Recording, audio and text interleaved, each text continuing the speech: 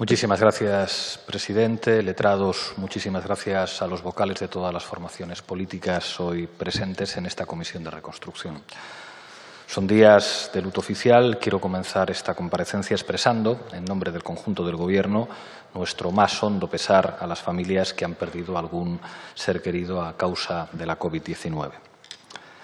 Para mí es un honor comparecer hoy en esta comisión parlamentaria. Voy a tratar de apuntar los elementos que tanto desde la Vicepresidencia de Derechos Sociales y Agenda 2030 como desde el propio Gobierno de España consideramos que deben informar las tareas de reconstrucción económica y social que tenemos por delante y que no son otros que los grandes consensos sociales que nos deja esta pandemia. Han pasado dos meses y medio desde, desde, que el presidente del Gobierno anunciara la entrada en vigor del estado de alarma, una medida excepcional que ha implicado un enorme esfuerzo por parte de toda la sociedad. Creo que no miento si digo que la gente ha entendido que las medidas de confinamiento eran imprescindibles para salvar vidas y para doblegar la curva de contagios. Pero quiero decir que el mérito de los datos que nos hacen ser prudentemente optimistas respecto a la contención del virus no se deben fundamentalmente ni a la acción del Gobierno ni a la heroica acción de nuestras fuerzas y cuerpos de seguridad. Se deben fundamentalmente al compromiso de la gente de nuestro país con el respeto y el cumplimiento de las medidas sanitarias y a ellas y a ellos, a nuestro pueblo, quiero darles una vez más en nombre del Gobierno las gracias. La sociedad civil, encabezada por los profesionales de la sanidad pública, nos ha dado una lección de colaboración y de compromiso con el bien común. Creo que ese espíritu demostrado en su praxis por los profesionales sanitarios, debe ser el que informe el trabajo de esta comisión, independientemente del carné de partido que cada uno o cada una llevemos en el bolsillo.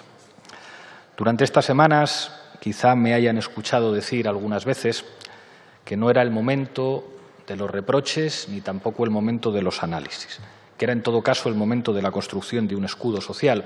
que nos permitiera afrontar esta crisis de manera diferente a como se afrontó la crisis de 2008 y que es un consenso hoy en día que fue un fracaso. Tras la crisis de 2008 hubo despidos masivos, hubo desahucios, hubo cortes de suministros y se usaron los recursos de todos para rescatar a una minoría de privilegiados. En esta ocasión, este Gobierno ha prohibido los despidos y ha protegido miles de empresas y a millones de trabajadores con los ERTES, ha prohibido los desahucios, ha prohibido los cortes de suministros y ha hecho una movilización de recursos histórica y sin precedentes para proteger a nuestra gente.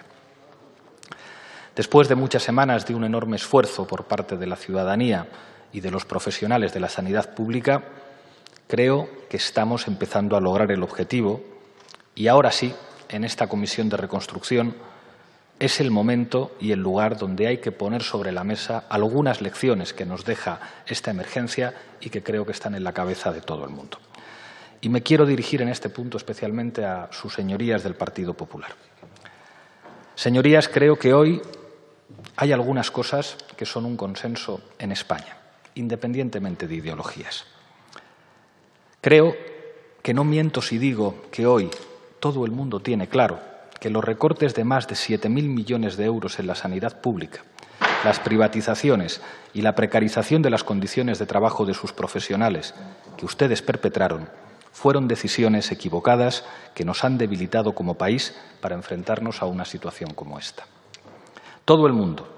también sus votantes, tiene claro que nunca jamás en España se pueden permitir ataques a la sanidad pública. Creo, señorías, y se lo digo con un ánimo constructivo, que ustedes tienen la oportunidad en esta comisión de reconocer que se equivocaron, de reconocer que nunca debieron recortar y privatizar la sanidad pública y deteriorar las condiciones de trabajo de sus profesionales, porque eso ha supuesto quitarle herramientas a España para enfrentar una emergencia sanitaria como la que estamos viviendo. Soy consciente de que pedirles esto es muy difícil, y que el arrepentimiento no es un ejercicio habitual en la política. Pero creo que reconocer esta evidencia sería un ejercicio de enorme dignidad por su parte que a mucha gente, incluidos sus votantes, les gustaría escuchar. Y que sería un primer paso muy importante hacia el compromiso de todos los grupos de cara a la reconstrucción, Porque la principal lección de esta emergencia, señorías, es que debemos reconstruir la sanidad pública. Si algo tiene que hacer esta comisión parlamentaria es traducir el consenso que han expresado los aplausos en los balcones a los profesionales sanitarios en un esfuerzo sin precedentes de la sanidad pública en nuestro país. Creo que es evidente que este es el principal consenso que nos deja lo que estamos viviendo, pero no es el único consenso. Hoy todo el mundo tiene claro, señorías, que la política de deslocalizaciones de la industria, paralela a la apuesta por un modelo productivo de bajo valor añadido, basado únicamente en el pelotazo y en la especulación urbanística, nos ha debilitado como país. Todo el mundo, vote al partido que vote, tiene claro que nunca más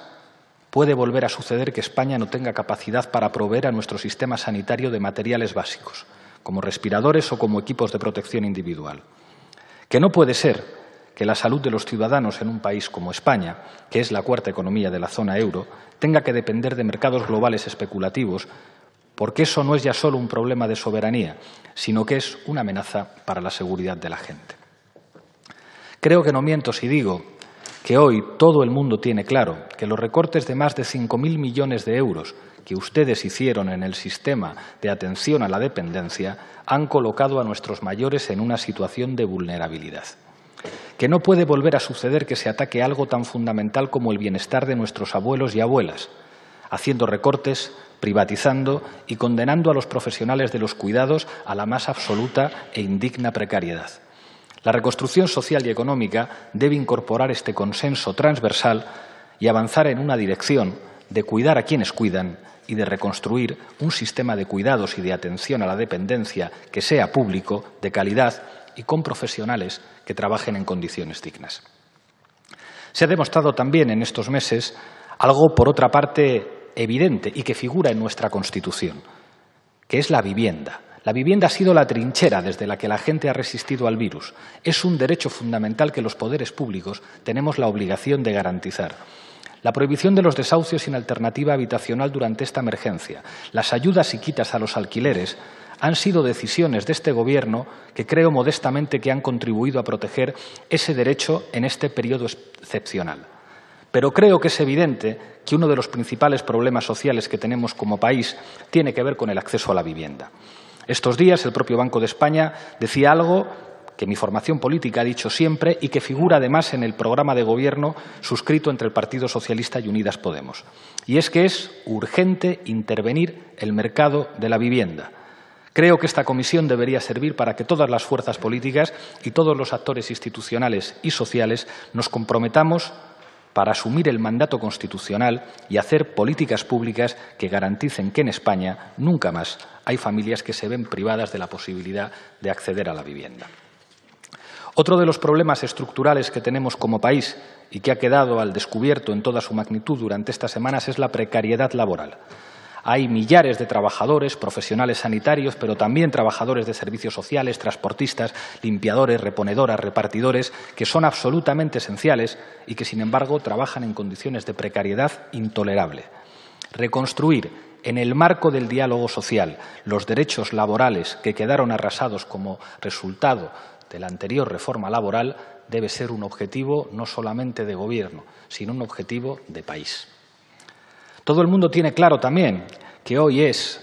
si cabe, aún más importante tomarse en serio la tarea de transición ecológica. Ha quedado más claro que nunca a raíz de la pandemia que lo que no es sostenible para la salud de las personas y del planeta tampoco es sostenible económicamente. Creo que el compromiso con la lucha contra el cambio climático y con un sistema económico que no coloque los beneficios de las grandes empresas contaminantes por delante de la protección del medio ambiente es un consenso social en España que debemos ser capaces de traducir políticamente en esta comisión. Todo el mundo tiene claro, señorías, que debemos salir de esta crisis de manera opuesta a cómo se salió de la crisis de 2008, si es que se salió.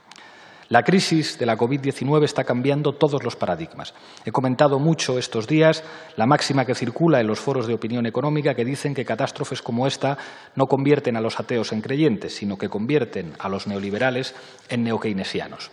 Hoy nos encontramos con muchos actores que se sitúan en coordinadas ideológicas conservadoras pero que entienden que la austeridad fue una manera absolutamente equivocada de afrontar la última crisis que de hecho contribuyó a agravarla y que hoy es necesario hacer lo que hay que hacer siempre que se produce una crisis con una dimensión como esta. Lo mismo que se hizo después de la crisis del 29, lo mismo que se hizo con la reconstrucción después de la Segunda Guerra Mundial, políticas fiscales expansivas. Hoy es un consenso amplio que la clave para salir de esta crisis, la clave de la reconstrucción, es la inversión pública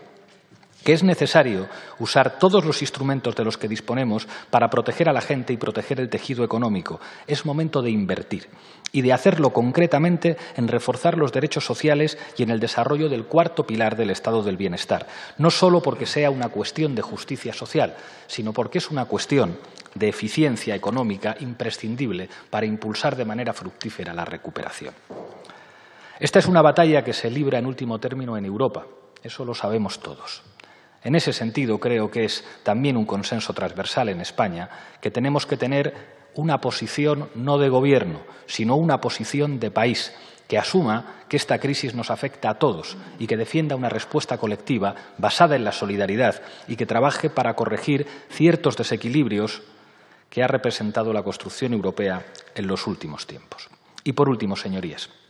me gustaría detenerme en una cuestión que este Gobierno considera absolutamente fundamental, tal y como se recoge en el programa del Gobierno de coalición.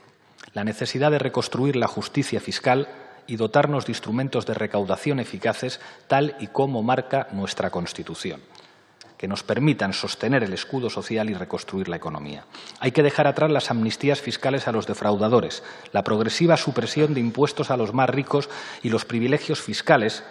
que permiten a las grandes empresas y al sector financiero aportar menos de lo que les correspondería y caminar así hacia la reconstrucción de un sistema fiscal más democrático.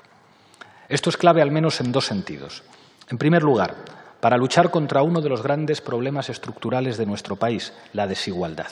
A nadie, vote al partido que vote, le parece sensato que el 10% más rico de la población concentre más riqueza que todo el 90% restante. Eso tiene que ver en gran medida con el hecho de que la mayor parte de la carga fiscal en España recae sobre la clase trabajadora, los autónomos y la pequeña y mediana empresa, mientras que los que más tienen disponen de todos los instrumentos de ingeniería fiscal que hacen que en la práctica estén aportando mucho menos de lo que les corresponde. Si queremos luchar contra la desigualdad, señorías, necesitamos un sistema fiscal más redistributivo. Esto, de nuevo, tiene que ver con la justicia social, pero también con la eficiencia, económica, porque las sociedades más prósperas, las sociedades más seguras y más eficientes son las sociedades más igualitarias. En segundo lugar, reconstruir la justicia fiscal es también una cuestión de patriotismo. En 2019 España recaudó un 7,4% del PIB menos que la media de la zona euro. A todos nosotros nos pagan los ciudadanos para defender sus intereses y para defender España y creo, por tanto, que todos tenemos la obligación de trabajar para corregir esa desventaja en términos de justicia social que tiene nuestra patria con respecto a los países de nuestro entorno. En España siempre ha sido habitual mirar hacia los países nórdicos como un modelo de referencia en cuanto a desarrollo democrático y bienestar social. Lo cierto es que son países con niveles de recaudación fiscal bastante superiores a los de nuestro país. Por lo tanto, si queremos pasar de las palabras a los hechos y ser patriotas de verdad y no solo patriotas de pulsera, si queremos parecernos un poco más a los países nórdicos, tenemos que empezar por acercarnos a ellos en lo que se refiere a justicia fiscal. Y creo que estamos en el mejor contexto para ello.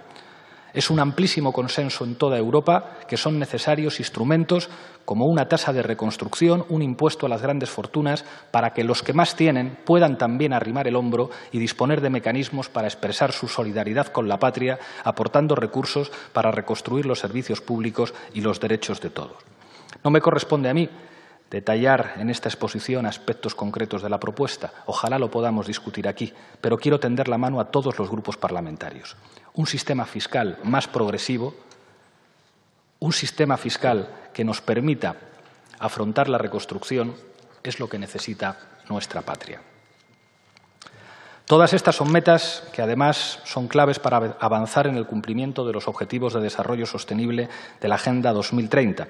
Hoy, más que en ningún otro momento, la Agenda 2030 no puede ser una mera declaración, ni mucho menos una suerte de lavado de cara verde y social de los poderosos, si existe una agenda que contiene el espíritu y las líneas fundamentales de lo que debería ser un proceso de reconstrucción de lo común, de los servicios públicos, de los derechos laborales, de los cuidados, de la justicia fiscal, de la igualdad, de la protección social, es, sin lugar a dudas, señorías, la Agenda 2030. Y una última reflexión y termino ya. Creo que si uno se fija en los elementos en los que me he ido deteniendo en esta exposición, cae fácilmente en la cuenta de que contamos con el marco idóneo para emprender las tareas de reconstrucción la Constitución española.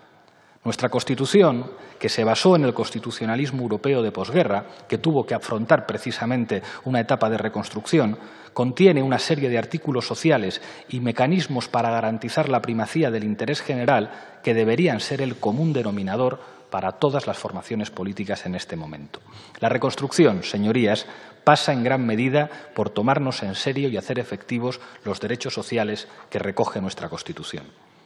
Nuestra mano está tendida a todas las fuerzas políticas, a las comunidades autónomas, a las diputaciones y ayuntamientos, a las organizaciones empresariales, a los sindicatos, a las plataformas de afectados por la hipoteca, a los sindicatos de inquilinos, a las organizaciones del tercer sector y al conjunto de la sociedad civil para llevar adelante una reconstrucción que no es la tarea de un gobierno, es la tarea de un país y requiere el concurso de todas y todos. Espero, señoría, que tengamos todos la suficiente altura de miras para ser capaces de poner por delante el interés general y hacer realidad elementos que son consensos transversales que comparte el conjunto de la ciudadanía, independientemente del partido al que vote, el territorio en el que viva o los símbolos con los que se emocione. Para que si en el futuro nos volvemos a ver en una situación como esta, que ojalá que no, podamos decir que aprendimos las lecciones de esta pandemia, que fuimos capaces cada uno de reconocer los errores del pasado y que fuimos capaces de reconstruir lo público y de reconstruir lo común. Muchas gracias.